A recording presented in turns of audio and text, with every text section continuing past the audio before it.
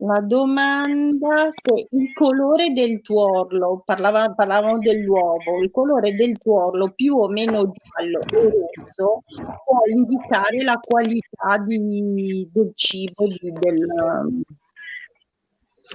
Ehm, ma non più di tanto sinceramente, però è è vero che le uova molto industriali hanno un tuorlo molto colorato, molto acceso, che, ehm, dipende dal fatto che aggiungono nei mangimi dei coloranti sostanzialmente, che possono essere naturali o artificiali.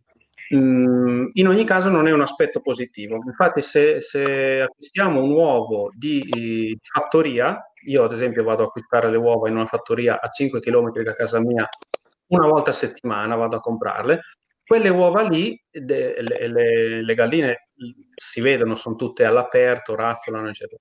Non hanno un tuorlo molto rosso, hanno un giallo diciamo, anche Del quasi sbiadito. Ehm, perché? Perché non non viene aggiunto il colorante nelle nella loro mangimi. Ehm, Certo. ma non è non è sinonimo di qualità un un tuorlo molto giallo, anzi semmai dovrebbe far scattare un pochettino un campanello d'allarme. Se è troppo giallo, ehm, è quasi sempre un uovo industriale. Mh.